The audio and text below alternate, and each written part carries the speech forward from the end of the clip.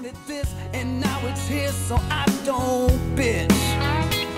And I swear the time's a trick, it disappears and oh so quick. Man, I was just 16 and now I'm staring at 36. But I'm still having a good time. Good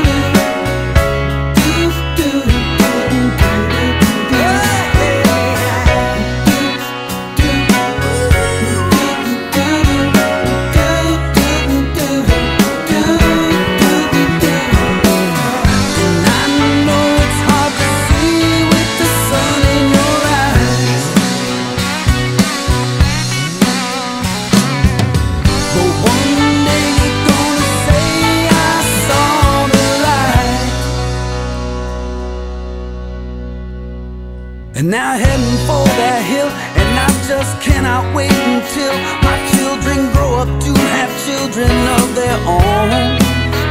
And I'll be telling them about the times I turned the party out and how I stood against an army all alone.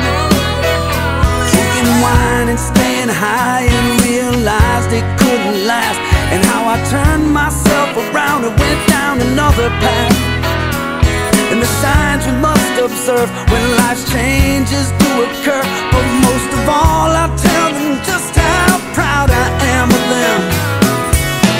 And always have a good time.